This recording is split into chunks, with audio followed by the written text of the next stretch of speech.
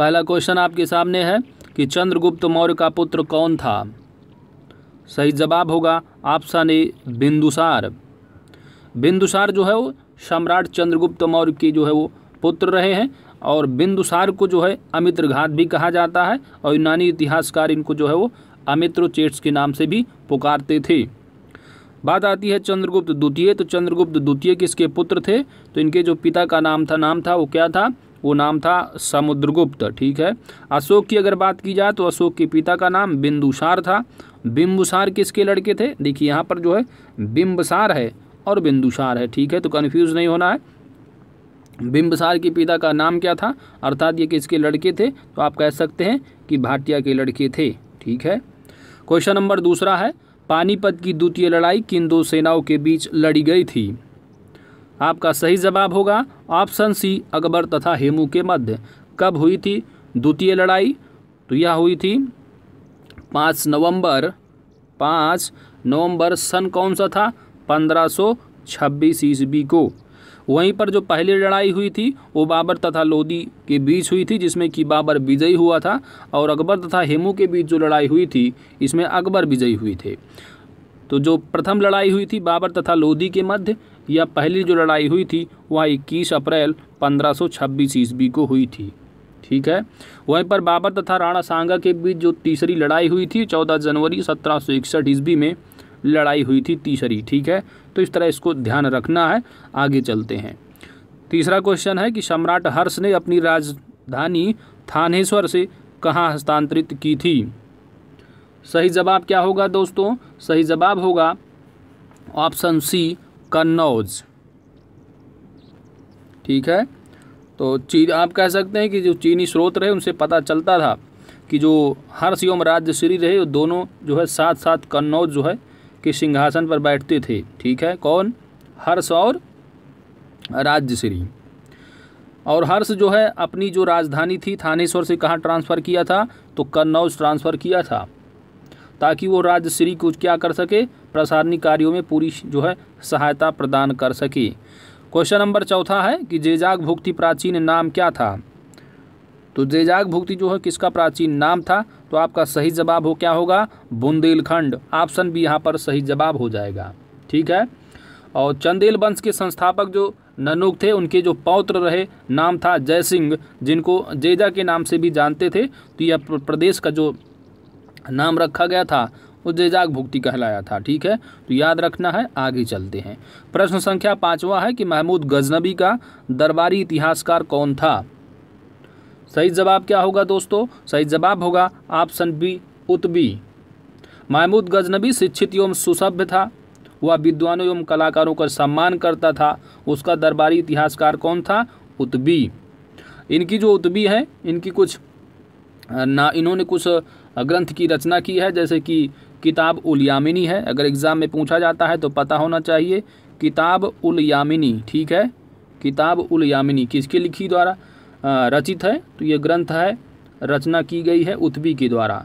साथ ही तारीख़ ए, एग्ज़ाम में अगर पूछा जाता है, तारीख़ ए, ठीक है? तारीख़ ए, यामिनी तो ये भी जो है उतुबी के द्वारा ही रचित ग्रंथ है। प्रश्न संख्या सिक्स है कि निम्नलिखित में से कौन एक युग्म सुमेलित नहीं है? तीन सही है, एक गलत सुमेलित है। पहला दे रखा है कि दीवाने मुस्तखराज। अलाउद्दीन खिलजी का रहा तो आप कह सकते हैं दीवान मुस्तखराज जो रहा, वो राजस्व विभाग रहा। वो किसका रहा? तो ये जो है, अलाउद्दीन खिलजी के जो है, प्रशासन काल में इस विभाग का नाम रहा है, ठीक है? राजस्व विभाग। वहीं पर दीवाने अमीर कोही तो दीवाने जो अमीर कोही है कृषि विभाग है, जो कि मोहम्मद बिन तुगलक। दीवाने खैरात की अगर बात की जाए तो दीवाने जो खैरात है, वह फिरोज तुगलक का है। किसका है? फिरोज तुगलक का। ठीक है? जबकि जो दीवाने रियासत है ना, किसका है? तो दीवाने जो रियासत है, यहाँ पर जैसे कि ऑप्शन में दे रखा है, बलबन। तो बलबन का नहीं है, दीवाने जो रियासत है, वो किसका है? तो दीवाने जो रियासत है, वह अलाउद्दीन खिलजी का है, जो कि एक बाज़ार नियंत्रण विभाग हुआ करता था। ठीक है? जबकि दीवाने खैरात मतलब दान दान विभाग था ये, ठीक है? तो फिरोज शाह तो यहाँ पर आप क्या लगाएँगे? ये बलबन वाला नहीं होगा यहाँ पर। यहाँ पर होना चाहिए था अलाउद्दीन खिलजी। ठीक है? तो यहाँ पर ऑप्शन क्या हो जाएगा सही? ऑप्शन डी, आगे चलते हैं। वेदों की ओर लौटो। तो वेदों की ओर लौटो, नारा किसने दिया था? तो सही जवाब क्या होगा? Option B, Swami Dayanand Saraswati. स्वामी दयानंद सरस्वती ने 1875 ईस्वी में बम्बई में एक समाज की स्थापना की थी। आपको पता होना चाहिए, एग्ज़ाम में पूछा भी जाता है। तो एक समाज था, उसका नाम था आर्य समाज, ठीक है? तो आर्य समाज की स्थापना भी किसने की थी? दयानंद सरस्वती। वेदों की ओर लौटो का नारा किसने दिया? दयानंद सरस्वती, ठीक है? तो ये इंपॉर्टेंट तथ्य हैं, आगे चलते हैं। अगला जो प्रश्न है, महात्मा गांधी के राजनीतिक गुरु कौन थे? तो आपका सही जवाब होगा, option D, Gopal Krishna Gokhale. Next है कि सुभाष चंद्र बोस के राजनीतिक गुरु कौन थे? तो आपका सही जवाब क्या होगा दोस्तों? सही जवाब होगा C R Das that is Chittaranjan Das, जिनको देश बंधु के नाम से भी जाना जाता है। ठीक है? आगे चलते हैं। क्वेश्चन नंबर दस है। आंसर बताइए क्या होगा? 1919 में जब मांटेग्यू चेम्सफोर्ड अधिनियम पास हुआ था, तब इंग्लैंड के प्रधानमंत्री कौन थे? सही जवाब होगा आपका। बताइए, सही जवाब होगा option A Lord George. Lord George जो है, इंग्लैंड के प्रधानमंत्री थे, जो लगभग रहे वो 1916 से लेकर के 22 तक, ठीक है? तो इसके अगर बीच में कोई घटनाएँ पूछी जाती हैं तो आपको मालूम होना चाहिए कि उस समय जो है प्रधानमंत्री इंग्लैंड के कौन थे? जार्ज लाइड ठीक है? आगे चलते हैं। क्वेश्चन नंबर इलेवन है, विश्व में काफ़ी का सबसे बड़ा उत्पादक देश कौन सा है? तो सही जवाब क्या होगा दोस्तों? सही जवाब होगा ब्राज़ील। कौन सा है? ब्राज़ील है। दूसरे नंबर पर वियतनाम है और तीसरे नंबर पर कोलंबिया है। बस इतना याद रखो, पहला याद है, बहुत है, ठीक है। तो विश्व में काफ़ी का सबसे बड़ा उत्पादक कौन सा है? ब्राज़ील कंट्री है। नेक्स्ट, क्षेत्रफल के आधार पर पृथ्वी का सबसे बड़ा महाद्वीप कौन सा है? तो सिंपल सा क्वेश्चन है, ऑप्शन इसका हो जाएगा बी, एशिया, ठीक है। एशिया कंटिनेंट है, एशिया के बाद कौन सा आता है? एशिया के बाद आ जाता है, अफ्रीका है। अफ्रीका के बाद तुम्हारा जो है उत्तरी अमेरिका आता है, ठीक है? उत्तरी अमेरिका आ जाता है, फिर दक्षिणी अमेरिका आ जाते हैं। सात कंटिनेंट में चार तो हो चुके। फिर अंटार्कटिका है, यूरोप है और ऑस्ट्रेलिया है। तो मालूम होना चाहिए कि सबसे बड़ा जो कंटिनेंट है, महाद्वीप है, वह एशिया है और सबसे छोटा कौन सा है? ऑस्ट्रेलिया है, ठीक है? आगे चलते हैं। प्रश्न संख्या तेरहवा है। बिल्कुल हलवा क्वेश्चन है कि भारत के किस राज्य में सबसे लंबी मुख्य भूमि तटरेखा है? यानी सबसे लंबी जो तटरेखा है, समुद्र की वह किस राज्य में है? तो आपको बताना है सही जवाब ऑप्शन बी गुजरात। भारत में लिग्नाइट का सबसे बड़ा उत्पादक कौन है? तो आप कौन सा राज्य है? सही जवाब होगा ऑप्शन सी तमिलनाडु। भारत की सबसे लंबी नदी कौन सी है? तो सही जवाब होगा आपका ऑप्शन बी गंगा। श्वेत क्रांति का संबंध किससे है? तो सही जवाब होगा आपका ऑप्शन बी, दुग्ध क्रांति से। दुग्ध क्रांति के जनक कौन माने जाते हैं? तो वर्गीज कुरियन, ठीक है? किसको माना जाता है? वर्गीज कुरियन को। साथ ही आपको मालूम होना चाहिए दोस्तों, अगर ऑपरेशन फ्लड पूछा जाता है तो ऑपरेशन जो फ्लड है वो किससे रिलेटेड है? तो याद रखना है, दुग्ध उत्पादन से ही रिलेटेड है। जबकि आप बात करेंगे गेहूँ उत्पादन का तो ये व्हाइट रिवोल्यूशन में सॉरी ग्रीन रेवोल्यूशन में ठीक है हरित क्रांति के तहत इसमें गेहूँ और चावल वगैरह की बात की जाती है। तो आप कहेंगे कि बाकी आप जानते हैं कि जो आ, ग्रीन रेवोल्यूशन रहा उस जनक किस किसको माना जाता है? तो ग्रीन रेवोल्यूशन के जो जनक हैं वो एम एस स्वामीनाथन है ठीक है? जबकि दुग्ध उत्पादन के कौन हैं? तो वर्गीज कुरियन ठीक है? तो बस इतना याद रखिए आगे चलते हैं। अगला क्वेश्चन है कि भारतीय राष्ट्र रिज़र्व बैंक का राष्ट्रीयकरण किस वर्ष में हुआ था? तो भारतीय रिज़र्व बैंक का जो राष्ट्रीयकरण हुआ था, वह वर्ष उन्नीस ईस्वी में हुआ था। कब? एक जनवरी उन्नीस ईस्वी को जो है इसका नेशनलाइजेशन राष्ट्रीयकरण किया गया था और आरबीआई की स्थापना कब हुई थी दोस्तों? तो एक अप्रैल वर्ष 1935 ईस्वी में, ठीक है? एक अप्रैल 1935 में, लेकिन नेशनलाइजेशन कब हुआ आरबीआई का? तो एक जनवरी उन्नीस सौ ईस्वी में, ठीक है? आगे चलते हैं। क्वेश्चन नंबर एट्टीन है कि भारत का आर्थिक सर्वेक्षण, जो इकोनॉमिक सर्वे जो जारी किया जाता है, प्रकाशित किया जाता है प्रत्येक वर्ष तो वह किसके द्वारा प्रकाशित किया जाता है? जारी किया जाता है तो आपका सही जवाब क्या होगा दोस्तों? सही जवाब होगा भारत सरकार की वित्त मंत्रालय के द्वारा। वित्त मंत्रालय के अंडर एक विभाग आता है, जिसका नाम है इकोनॉमिक डिपार्टमेंट आप कह सकते हैं, आर्थिक विभाग द्वारा जो है जारी किया जाता है। ठीक है? आगे चलते हैं।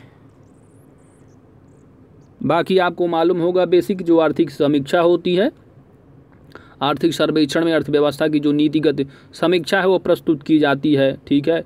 और जो पिछले वित्तीय वर्ष में अर्थव्यवस्था के जो कुछ प्रदर्शन से संबंधित आंकड़े एवं तथ्य भी संग्रहित होते हैं। आगे चलते हैं। अगला प्रश्न है कि भारत में सीमांत जोत का आकार कितना है? तो सीमांत जोत का जो आकार होता है दोस्तों, वह एक हेक्टेयर से कम होता है। ऑप्शन डी यहाँ पर सही जवाब हो जाएगा। अगर मध्यम आकार पूछा जाएगा तो आपका सही जवाब क्या होगा? पाँच से लेकर के दस हेक्टेयर। और दस हेक्टेयर या दस हेक्टेयर से अगर अधिक होता है तो बृहत आकार हो जाता है। आगे चलते हैं। किसे प्लास्टिक मनी कहा जाता है? ऑप्शन बी, यहाँ सही जवाब हो जाएगा। क्रेडिट कार्ड हो गए, डेबिट कार्ड हो गए। ठीक है जी, ये सभी क्या है? प्लास्टिक कार्ड हैं। क्वेश्चन नंबर ट्वेंटी वन है। निम्नलिखित में से किस अनुच्छेद में इंडिया को भारत भी कहा गया है? तो सबसे पहले आप जब आर्टिकल नंबर वन पढ़ेंगे, उसमें क्लास वन में लिखा है, इंडिया दैट इज़ भारत। तो ऑप्शन ए, यहाँ पर सही जवाब हो जाएगा। क्वेश्चन नंबर ट्वेंटी टू है। भारतीय संविधान में कितने मौलिक कर्तव्य उल्लिखित हैं? सही जवाब होगा ऑप्शन डी, ग्यारह जो है वो मूल कर्तव्य जो है दिए गए हैं। अगर पूछा जाएगा कि मूल कर्तव्य को कब जोड़ा गया है तो बयालीसवीं संविधान संशोधन उन्नीस सौ छिहत्तर में जोड़ा गया था। ठीक है? साथ ही अगर पूछा जाता है कि जो संविधान में जोड़े गए थे शुरुआती में तो कितने मूल अधिकार रहे हैं तो दस रहे हैं, जो कि ग्यारहवा, जो क्लास नंबर इलेवन जोड़ा गया, ग्यारहवा मूल कर्तव्य, जिसमें कि छियासवीं संविधान के तहत जो है उसको जोड़ा गया है, और जिसमें कहा गया है कि छः से चौदह वर्ष के जो आय के बच्चे होंगे, उनके पेरेंट्स की ज़िम्मेदारी होगी कि उनको जो है वो एजुकेट करें। ठीक है, मूल कर्तव्य होगा पेरेंट्स की। ठीक है छः से चौदह वर्ष तक की आयु। अगला क्वेश्चन नंबर ट्वेंटी थ्री है कि स्वतंत्र भारत की लोकसभा का पहला अध्यक्ष कौन था? तो सही जवाब होगा आपका option D, G B Mavalankar. ठीक है? यानी गणेश वासुदेव मालवंकर थे। क्वेश्चन नंबर ट्वेंटी फोर है कि इलाहाबाद उच्च न्यायालय की स्थापना कब हुई थी? इलाहाबाद उच्च न्यायालय की स्थापना कब हुई थी? सही जवाब होगा आपका ऑप्शन बी यहाँ पर सही जवाब हो जाएगा। इलाहाबाद उच्च न्यायालय तो वर्तमान में आप देखेंगे, लेकिन जब इसकी स्थापना हुई थी अठारह सौ इकसठ के भारतीय उच्च न्यायालय अधिनियम के तहत, ठीक है? तो उस समय जो है अट्ठारह में जो स्थापना हुई थी वो आगरा में स्थापना की गई थी। बाद में ट्रांसफ़र कर दी गई तीन साल बाद यानी अट्ठारह सौ उनहत्तर ईस्वी में कहाँ? इलाहाबाद में, ठीक है? आगे चलते हैं। प्रश्न संख्या ट्वेंटी फाइव है कि नगर पालिका में महिलाओं के लिए कितनी सीटें आरक्षित होती हैं? तो सही जवाब होगा आपका ऑप्शन सी वन थर्ड ठीक है? तो नगर पालिका हो या नगर जो आपका ग्राम पंचायत होता है, उसमें भी जो है महिलाओं के लिए जो आरक्षित सीटें होती हैं, कुल सीटों की संख्या का एक बटे तीन जो है वो आरक्षित होता है। नगर पालिका को ऐड कब किया गया था? चौहत्तरवें संविधान संशोधन के तहत ऐड किया गया था। वही नगर जो ग्राम पंचायत होता है तो ग्राम पंचायत को किस संविधान संशोधन के तहत? तिहत्तरवें संविधान संशोधन के तहत, ठीक है? तो ये सारी चीज़ें आप टू द नोट आप देखेंगे तो वहाँ पर भी ये सारी चीज़ें कवर की गई हैं। क्वेश्चन नंबर ट्वेंटी सिक्स है कि निम्नलिखित में से कौन सा यंत्र का प्रयोग आर्द्रता को मापने के लिए किया जाता है? तो सही जवाब होगा ऑप्शन बी, आर्द्रता क्वेश्चन नंबर ट्वेंटी सेवन है कि आवर्त साड़ी के रूप में तत्वों का वर्गीकरण निम्नलिखित में से किसने जो है वो सर्वप्रथम किया था? तो सर्वप्रथम किसने किया था दोस्तों? तो यहाँ पर सही जवाब हो जाएगा आपका option A Mendeleev question number twenty eight है, आग को बुझाने के लिए जो प्रयुक्त तो गैस होती है, कौन सी होती है? तो सही जवाब होगा option C, carbon dioxide. Urea किसमें संश्लेषित होता है? सही जवाब होगा ऑप्शन ए, यकृत में। इंसुलिन किसमें सक्रिय होते हैं? सही जवाब होगा अग्नाशय में। Option A is correct answer अब क्वेश्चन नंबर जो है थर्टी सिक्स की ओर चलते हैं। ठीक है मैथ और रीजनिंग और जो आपका टेबल और ग्राफ के क्वेश्चन उसको लास्ट में किया जाएगा, पहले जीके जीएस को फिनिश कर लिया जाता है, ठीक है? प्रतिकूल का विलोम क्या होगा दोस्तों? तो प्रतिकूल का जो विलोम होगा, वह होगा अनुलोम। समान का असमान हो जाता है, अनुसार का प्रतिसार होता आता है, ठीक है? तो यहाँ पर ध्यान देना है कि प्रतिकूल का विलोम क्या होगा? अनुकूल। ऑप्शन सी यहाँ पर सही जवाब होगा। क्वेश्चन नंबर थर्टी सेवन है। शब्द दिया है अन्वय। तो अन्वय का जो संध विच्छेद है, वह क्या होगा? तो सही जवाब होगा ऑप्शन ए, अनुधन आय बराबर अन्वय हो जाएगा। क्वेश्चन नंबर हो जाएगा थर्टी एट कलेजे पर सांप लौटना मुहावरे का सही अर्थ क्या होगा? तो सही जवाब हो जाएगा ईर्ष्या से जल उठना। ऑप्शन बी, सही जवाब होगा। क्वेश्चन नंबर थर्टी नाइन है कि कवि का जो है स्त्रीलिंग क्या होगा? कवि का स्त्रीलिंग होगा। ऑप्शन सी, कवयत्री। क्वेश्चन नंबर फोर्टी है, वह स्त्री जिसका पति परदेश या विदेश गया हो, वाक्य के लिए एक शब्द क्या होगा? तो दोस्तों, इसका सही जवाब होगा ऑप्शन सी, प्रोसित पतिका। ऑप्शन सी यहाँ पर सही जवाब हो जाएगा, ठीक है? इसके बाद अगर बात की जाए, नहोड़ा किसको कहा जाता है एक वाक्यांश में? तो नहोड़ा के लिए जो कि नई ब्याही हुई, जैसे कि कोई नई नवेली स्त्री है, नई ब्याही हुई जो स्त्री हैं, उनको कहा जाता है नहोड़ा। वहीं पे अगर बात किया जाए, प्रवत्स्य पतिका। तो प्रवत्स्य पतिका का जो कहा जाता है एक शब्द में किसके लिए है? तो किस वाक्यांश के लिए होगा? तो इसके लिए जो है, जैसे जो वियोग की कल्पना से दुखी हो, और उसका जो है स्त्री का जो पति है, विदेश चला गया हो, और उनके वियोग में क्या है? वियोग की कल्पना से दुखी हो तो उसको कहा जाएगा प्रवत्स्यत पतिका वहीं पर जो डी दिया है, आगत पतिका तो आगत में क्या है? आने की बात की जा रही है यहाँ पर। तो आगत पति का लिए जो होता है, वह स्त्री जिसका पति अभी परदेश से लौटा हो, उसे आगत पतिका कहते हैं। ठीक है तो ये सारी चीज़ें हैं, आगे चलते हैं। प्रश्न संख्या 51 है कि जून 2021 में आर्थिक मामलों की मंत्रिमंडलीय समिति ने गहरे समुद्र अभियान को मंजूरी प्रदान की है। गहरे समुद्र अभियान that is deep ocean mission की यहाँ पर बात की जा रही है और इस अभियान को चरणबद्ध ढंग से लागू करने हेतु पाँच वर्ष की अवधि में इसकी अनुमानित जो लागत राशि है, वह कितनी होगी? तो यहाँ पर जो सही जवाब हो जाएगा दोस्तों, वह होगा option C four zero seven seven crore रुपए। क्वेश्चन नंबर फिफ्टी टू है, अंतर्राष्ट्रीय क्षुद्र ग्रह दिवस कब मनाया जाता है? सही जवाब होगा ऑप्शन ए, तीस जून को। कब?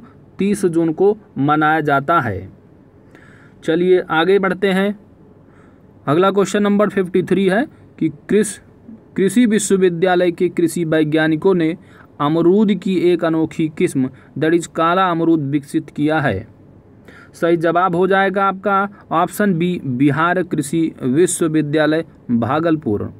Question number fifty four है, दो जून 2021 को किसे 2021 के प्रतिष्ठित इंटरनेशनल बुकर प्राइज से सम्मानित करने की घोषणा की गई है?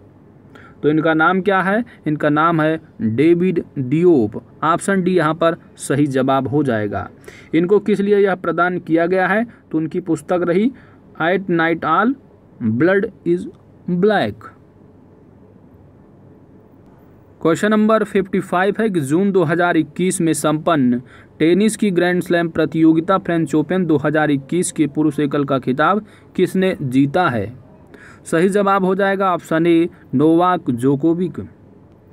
Question number 56 जैव प्रौद्योगिकी विभाग, राष्ट्रीय रोग प्रतिरक्षण संस्थान को भारत के पहले स्वदेशी tumour antigen S P G nine S P A G nine के लिए ट्रेडमार्क प्राप्त हुआ है और भारत के पहले स्वदेशी tumour antigen S P A G nine की जो खोज वर्ष उन्नीस सौ अट्ठानबे में किसके द्वारा की गई थी?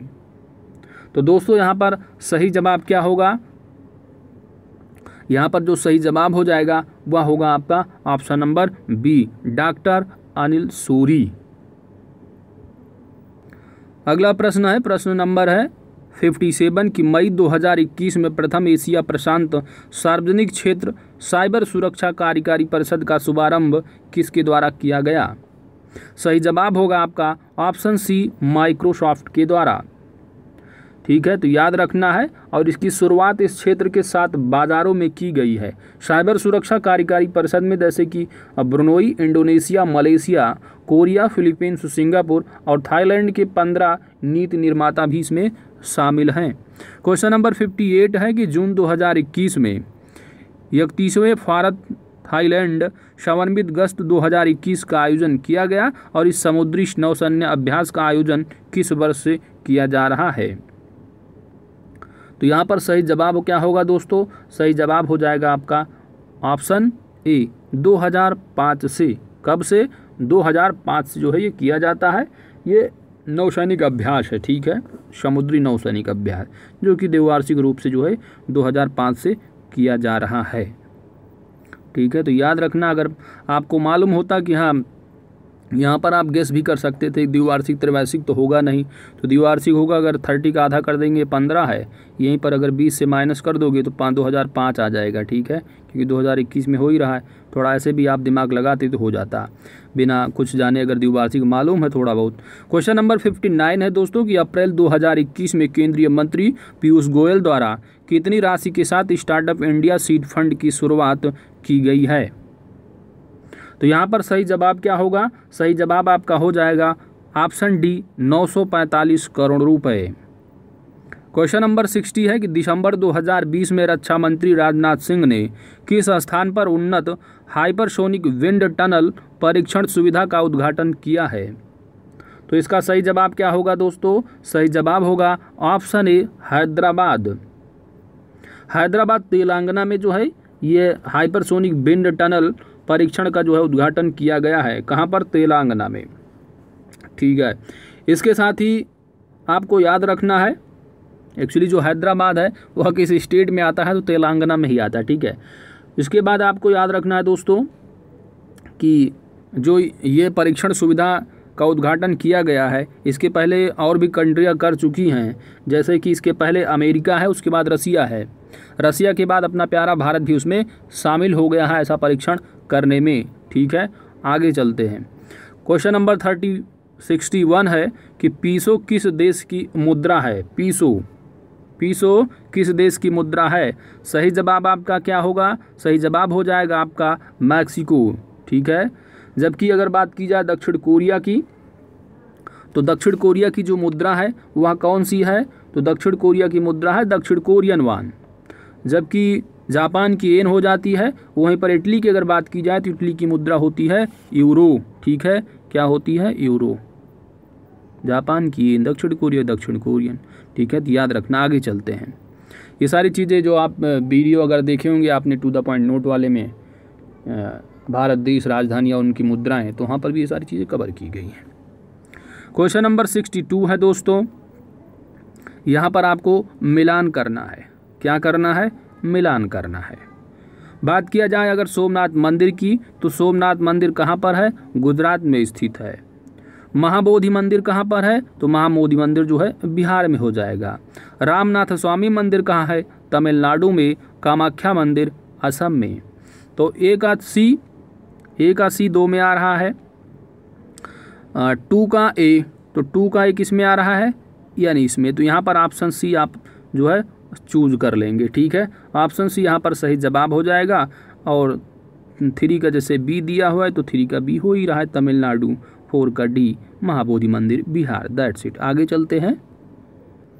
अगला क्वेश्चन भी आपका सुमेलित करना है, संगीतज्ञ दे रखे हैं, और किस क्षेत्र से रिलेटेड है आपको यहाँ पर बताना है, उत्कृष्टता इनकी क्या रही है। यहाँ पर अगर बात किया जाए असद अली तो असद अली खां जो है किससे, किसके रहे ये? तो बीड़ा वादक रहे हैं, ठीक है? तो बीड़ा हो गया। वहीं पर मल्लिका अर्जुन की अगर बात की जाए तो मल्लिका अर्जुन जो रहे, वह जो है एक शास्त्रीय संगीत से संबंधित रहे हैं। ठीक है? बिस्मिल्ला खां तो बिस्मिल्ला खां जो है, सहनाई के लिए काफ़ी फ़ेमस इसके बाद अगर बात की जाए टी एन कृष्णन की तो टी एन कृष्णन एक वायलिन वादक रहे। तो ए का फोर किसमें है? केवल केवल बी बी में ही दिख रहा है। अगर आपने, एक ही अगर आपने सही कर ले गए तो आपका आंसर यहाँ पर मिल जाएगा। ऑप्शन बी यहाँ पर आप चूज़ कर लेंगे, वही सही हो जाएगा। ठीक है? तो इस तरह भी आपको कभी कभी देखने को मिलता है। अगर आप एक हंड्रेड परसेंट कन्फर्म अगर एक सही मिल जा रहा है तो आपको और मिलाने की ज़रूरत नहीं, टाइम बर्बाद करने की ज़रूरत भी नहीं है। तो चलिए, यहाँ पर आप ज्ञान अर्जन के लिए चीज़ें आप जो है ध्यान दे सकते हैं, आगे चलते हैं। प्रश्न संख्या सिक्सटी फोर है कि India the future is now, किसके द्वारा लिखी गई है? तो सही जवाब हो जाएगा दोस्तों आपका ऑप्शन सी, शशि थरूर की द्वारा। निम्न में से किस संगठन का मुख्यालय जेनेवा में नहीं है? यानी चार ऑप्शन दिए हैं, चार में से तीनों को तो है, लेकिन एक का नहीं है। तो सही जवाब आपका क्या होगा? देखिए, विश्व मौसम विज्ञान संगठन का भी जेनेवा में है, विश्व स्वास्थ्य संगठन का भी जेनेवा में है डब्ल्यू विश्व व्यापार संगठन का भी जेनेवा में है। लेकिन खाद्य एवं कृषि संगठन का जो मुख्यालय है दोस्तों, वह जेनेवा में ना होकर के कहाँ है? रोम, इटली में, ठीक है? रोम, इटली में है। इसलिए यहाँ पर जो सही जवाब होगा, ऑप्शन ए इस करेक्ट आंसर अगला प्रश्न है, क्वेश्चन नंबर सिक्सटी सिक्स है कि नोबेल पुरस्कार प्रतिवर्ष कहाँ बांटे जाते हैं? नोबेल पुरस्कार। तो आपका सही जवाब क्या होगा दोस्तों? सही जवाब हो जाएगा आपका ऑप्शन बी स्टाक होम क्या होगा? स्टॉक होम नोबेल पुरस्कार का जो वितरण होता है, वो प्रतिवर्ष जो है स्टाक होम में किया जाता है। और साथ ही आपको थोड़ा मालूम होना चाहिए कि अगर नोबेल पुरस्कार में जो शांति का पुरस्कार है शांति पुरस्कार जो है यह स्टॉक होम में नहीं होता है, बाकी सभी स्टॉक होम में है, ठीक है? और शांति का जो पुरस्कार कहाँ प्रदान किया जाता है तो ओस्लो नार्वे में, ठीक है? कहाँ? ओस्लो नार्वे में। तो यहाँ पर थोड़ा ध्यान देना है, आगे चलते हैं। क्वेश्चन नंबर सिक्सटी सेवन है कि निम्नलिखित में से कौन सा पर्यावरण का एक अजय घटक नहीं है, ठीक है? तो बायोटिक बायोटिक हमने जो लास्ट का आपका टू द पॉइंट नोट में जो सामान्य जागरूकता का है सिलेबस का जो लास्ट टॉपिक है ना, वहाँ पर इसको कवर किया गया है कि बायोटिक क्या है नॉन बायोटिक क्या है, ठीक है? तो उनको आप ज़रूर वहाँ पर नोट कवर करिएगा, ठीक है? तो यहाँ पर जो दोस्तों सही जवाब होगा सिक्सटी सेवन का, वहाँ हो जाएगा क्या? ऑप्शन सी यहाँ पर सही जवाब हो जाएगा। क्वेश्चन नंबर सिक्सटी एट है कि विश्व पर्यावरण दिवस हर साल कब मनाया जाता है? तो पाँच जून को मनाया जाता है। क्वेश्चन नंबर सिक्सटी नाइन है कि क्षेत्रफल की दृष्टि से भारत का सबसे बड़ा राज्य कौन सा है? तो सही जवाब क्या होगा? तो सही जवाब हो जाएगा आपका, राजस्थान जो है वह नंबर वन पर है। क्षेत्रफल की दृष्टि से दूसरे पर जो आता है, वह मध्य प्रदेश है, तीसरे पर महाराष्ट्र है। ठीक है? उसके बाद अगर बात किया जाए यहीं पर, अपने उत्तर प्रदेश की तो उत्तर प्रदेश का जो रैंक आ जाएगा यहीं तीनों के बाद उत्तर प्रदेश की रैंकिंग आती है चौथे नंबर पर जो है वो अपना प्यारा उत्तर प्रदेश है क्षेत्रफल की दृष्टि से। ठीक है तो चार ही याद रखो, बाकी अब जम्मू कश्मीर थोड़ा, अब जम्मू कश्मीर लद्दाख हो गया, वरना इनका डिवीज़न के पहले से जो है वो जम्मू कश्मीर जो है पाँचवें नंबर पर हुआ करता था क्षेत्रफल की दृष्टि। बस इतना याद रखो, number one, number two, number three और अपना उत्तर प्रदेश, ठीक है? इनफ है। क्वेश्चन नंबर सेवेंटी है दोस्तों, कि निम्नलिखित में से कौन सा सुमेलित है? बाकी तीन सुमेलित नहीं हैं। तो देखिए, जो भरतनाट्यम है वह आंध्र प्रदेश का है, बिल्कुल नहीं। भरतनाट्यम तमिलनाडु का है। कुंचीपुड़ी जो है वह मध्य प्रदेश दिया है तो यह आंध्र प्रदेश का है, ठीक है? जबकि जो कथक कली है, कथक कली केरल की है, यह बात बिल्कुल सही है तो यहाँ पर ऑप्शन सी सही हो जाएगा। कथक की अगर बात की जाए तो कथक ये अपना उत्तर प्रदेश का नृत्य है, ठीक है? तो यहाँ पर सही जवाब क्या होगा दोस्तों? कथक कली केरल से रिलेटेड है, ठीक है? तो याद रखना है कि भरतनाट्यम कहाँ का है? तमिलनाडु का है, कुचिपुड़ी आंध्र प्रदेश का है, कथक कली केरल का है, और कथक जो है वह उत्तर प्रदेश का है। आइए गद्दांश को पढ़ लेते हैं। गद्दांश दिया है और गद्दांश के नीचे दो आपको आंसर क्वेश्चंस पूछे गए। यहाँ पर पढ़ करके बताना है, इस अवतरण का सर्वथा उपयुक्त शीर्षक, क्या हो सकता है? यानी शीर्षक पूछा गया है गद्दांश का, परंपरा का विरोध करने से प्रतिभा ऊपर नहीं उठती है, इसका आशय क्या है? नकारात्मक नकारात्मकता का आशय क्या है? तो ये चीज़, सारी चीज़ें आइए गद्दांश को पढ़ते हैं। उसके बाद पढ़ करके आंसर आपको देना है। मानव के पास समस्त जगत को देखने परखने के दो नज़रिए हैं, एक आशावादी, दूसरा निराशावादी। इसे सकारात्मक और नकारात्मक दृष्टि भी कहते हैं। जो आशावादी या नकारात्मक मार्ग पर चलते हैं, वह सदैव आनंद की अनुभूति प्राप्त करते हैं। जो आशावादी या सकारात्मक मार्ग पर चलते हैं, वह सदैव आनंद की अनुभूति प्राप्त करते हैं, तथा निराशावादी या नकारात्मक दृष्टि वाले दुख के सागर में डूबे रहते हैं। और सदा अपने आप को प्रतिस्थापित करने के लिए तर्क किया करते हैं।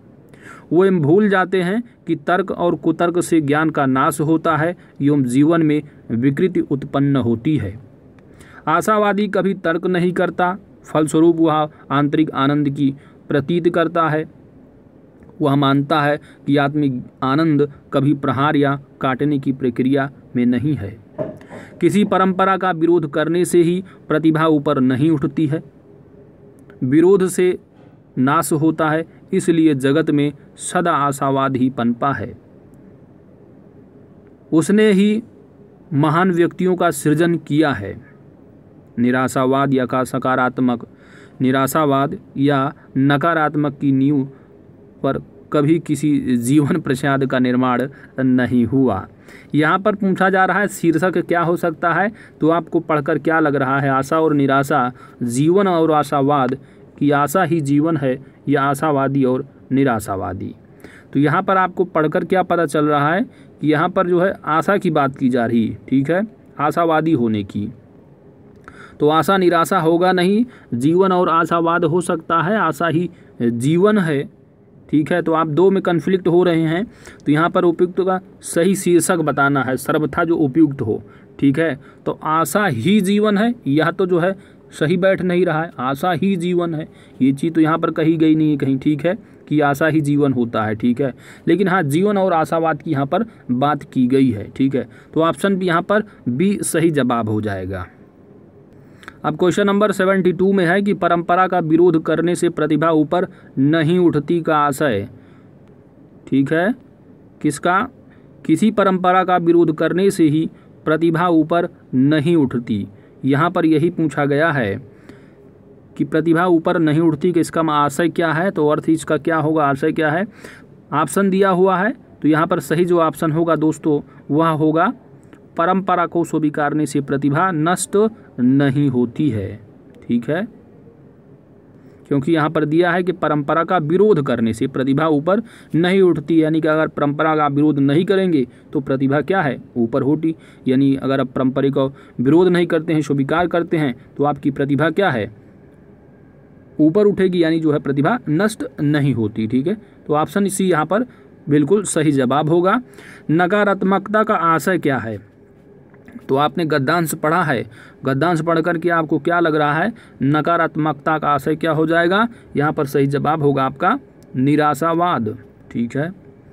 क्वेश्चन नंबर सेवेंटी फोर में दिया हुआ है कि निराशावाद दुख के सागर में डूबे रहते हैं और सदा अपने आप को प्रतिस्थापित करने के लिए तर्क किया करते हैं।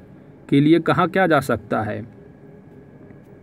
तो दोस्तों, यहाँ पर सही जवाब हो जाएगा आपका ऑप्शन निराशा, कुंठा और प्रबंधन की जननी है। बिल्कुल सही, निराशावाद का चेहरा, चिंता। तो यहाँ पर सही जवाब हो जाएगा आपका ऑप्शन डी यहाँ पर उपयुक्त तो सभी वाक्य सही हैं। अगला क्वेश्चन नंबर सेवेंटी फाइव पूछा जा रहा है कि आत्मिक आनंद से आशय क्या है? तो आत्मिक आनंद से आशय है आह्लाद। ऑप्शन यहाँ पर सही जवाब होगा। चलते हैं। अगला गद्दांश दिया हुआ है और गद्दांश को पढ़ करके आंसर देने हैं आपको। ठीक है। प्रश्न देख लीजिए। ऐसे परोपकारी लोग सदा पूजे जाते रहेंगे जो कठोर सत्य किसे कहा गया है? निर्बल भावनाओं पर विजय पाने के लिए क्या किए जाने की आवश्यकता बताई गई है। हमारा जीवन सदैव सदा प्रेरणा बन सकता है। यदि हम क्या करें? धर्म के आचरण का उद्देश्य क्या है? तो एक सरसरी निगाह से आपने देख लिया। अब आइए यहाँ पर गद्दांश को पढ़िए। गद्दांश दिया है कि मानव के मर्म स्थल में मानव के मर्मस्थल में परोपकार और त्याग जैसे सद्गुणों की जागृति तभी हो पाती है जब वह अपने तुच्छ भौतिक जीवन को नगण्य समझकर उत्साह उमंग के साथ दूसरों की सेवा, शुश्रूषा तथा सत्कार करता है। यह कठोर सत्य है कि हम भौतिक रूप में इस संसार में सीमित अवधि तक ही रहेंगे। हमारी मृत्यु के बाद हमारे निकट संबंधी, मित्र बंधु बांधव जीवन भर हमारे लिए शोकाकुल और प्रेमाकुल भी नहीं रहेंगे दुख मिश्रित इस निर्बल भावना पर विजय पाने के लिए, दुख मिश्रित इस निर्बल भावना पर विजय पाने के लिए तब हमारे अंतर्मन में एक विचार उठता है कि क्यों न हम अपने सत्कर्मों और सद्गुणों का प्रकाश फैलाकर सदा सदा के लिए अमर हो जाएँ। सेवक प्रवृत्ति अपनाकर ही हम ऐसा अवश्य कर सकते हैं क्या कि सद्गुणों को प्रकाश फैलाकर सदा सदा के लिए अमर हो जाएँ। तो अमर होने के लिए क्या करना है? सेवक प्रवृत्ति अपनाकर ही हमको ऐसा कर सकते हैं, सारी चीज़ें हैं। अपने निस्वार्थ व्यक्तित्व और परहित कर्मों के बल पर हमेशा के लिए मानवीय जीवन हेतु उत्प्रेरणा बन सकते हैं। तो थोड़ा ये यहाँ तक पढ़ा हुआ है। आइए थोड़ा अपने क्वेश्चंस को देख लेते हैं, पढ़ते ही जा रहे हैं। ऐसे लोग परोपकारी लोग सदा पूजे जाते रहेंगे। जो क्या है? अभी आपने पढ़ा है ठीक है, यह लाइन पढ़ा हुआ है आपने कि सदा जो है वो पूजे जाते रहेंगे। सेवक प्रवृत्ति अपनाकर अवश्य ऐसा कर सकते हैं कि सदा सदा के लिए अमर हो जाएँ, पूजे जाएँ। ये सारी चीज़ें यहाँ पर कही गई तो यहाँ पर आपका आंसर हो जाएगा। ऑप्शन डी यहाँ पर सही जवाब होगा, सेवक वृत्ति अपना कर। ठीक है? कठोर सत्य किसे कहा गया है? तो कठोर सत्य अभी आपने देखा कि कठोर सत्य यही है। कहाँ पर लाइन? लाइन कहाँ गई? ये रही लाइन, ठीक है? कि कठोर सत्य है कि हम भौतिक रूप में इस संसार में सीमित अवधि तक ही सीमित रहेंगे, ठीक है? कठोर सत्य है, ये सीमित रहेंगे। तो यहाँ पर पूछा जा रहा है, कठोर सत्य है, किसे कहा गया है? तो भौतिक शरीर को, यानी जो शरीर है, इसकी नश्वरता की बात की जा रही है। ऑप्शन यहाँ पर सही जवाब हो जाएगा। क्वेश्चन नंबर सेवेंटी एट है कि निर्बल भावनाओं पर विजय पाने के लिए क्या किए जाने की आवश्यकता बताई गई है? निर्बल भावनाओं पर विजय पाने के लिए। तो यहाँ पर जो कहा गया है, अच्छी भावनाओं पर विजय पाने के लिए आप क्या करना है? आपको अच्छे कर्म करने हैं, ठीक है? विजय पाने के लिए। ये देखिए, लिखा यहाँ पर, किस निर्बल भावना पर विजय पाने के लिए तब हमारे अंतर्मन में एक विचार उठता है कि क्यों न हम अपने सत्कर्मों और सद्गुणों का प्रकाश फैलाकर सदा सदा के लिए अमर हो जाएँ। तो यहाँ पर आपको मिल रहा होगा कि सदा सदा के लिए अमर हो जाना। ये चीज़ तो है नहीं। यहाँ पर कहा गया है, अच्छे कर्मों से नाम को अमर कर लेना, सदा सदा के लिए अमर, ठीक है? तो यहाँ पर ऑप्शन डी इसका उपयोग में से बिल्कुल सही जवाब होगा। चलते हैं क्वेश्चन नंबर सेवेंटी नाइन की ओर, ठीक है? तो सेवेंटी नाइन में क्या है कि हमारा जीवन सदा प्रेरणा बन सकता है यदि हम क्या करें? प्रेरणा। प्रेरणा की जैसे कि दूसरे लोग भी इससे सीखें, प्रेरणा लें। तो प्रेरणा बन सकता है यदि हम निस्वार्थ भाव से परोपकार करें। ठीक है? तो ऑप्शन यहाँ पर डी सही जवाब हो जाएगा। ठीक है? निस्वार्थ भाव से आप परोपकार करें। क्वेश्चन नंबर एट्टी है। देखिए दोस्तों, आपको पीडीएफ मिली गई। आप जो है अच्छे से रिवीजन कर लेना पढ़ करके। ठीक है? तो यहाँ पर थोड़ा ऊपर नीचे करने में आपको थोड़ा अच्छा भी नहीं लग रहा होगा। धर्म के आचरण का उद्देश्य क्या है? पेपर तो आपके जब सामने आएगा तो उसमें बिल्कुल सामने ही होगा ना पेपर आपके। और पेपर मिलेगा आपको, देखिएगा, जमा भी करवा लिया जाएगा आपसे, ठीक है? धर्म के आचरण का उद्देश्य क्या है? आध्यात्मिकता की शिक्षा प्रदान करना है, अगले पेज पे चलते हैं। प्रश्न आपने पढ़ा ही कि धर्म के आचरण का उद्देश्य क्या है, ठीक है? तो धर्म आचरण की, धर्म के आचरण का जो उद्देश्य है, बी ऑप्शन दिया है, अच्छे कर्मों और गुणों का प्रकाश फैलाना, कर्म पर आस्था रखना, अपने धर्म पर प्रचार प्रसार करना तो आपने गद्दांश में पढ़ा है क्या है? प्रकाश फैलाना। ठीक है? क्या करना है? प्रकाश फैलाना है आपको चारों ओर। ठीक है? यहाँ पर देखिए, आप देखिएगा। ठीक है तो ये सारी चीज़ें जो है आपको देखने को मिलेंगी। ठीक है? ज्योति प्रकाश, आगे चलते हैं। तो यहाँ पर जो सही जवाब क्या होगा दोस्तों? सही जवाब आपका हो जाएगा ऑप्शन बी। ठीक है? धर्म के आचरण का उद्देश्य, अच्छे कर्मों और गुणों का प्रकाश फैलाना। That's it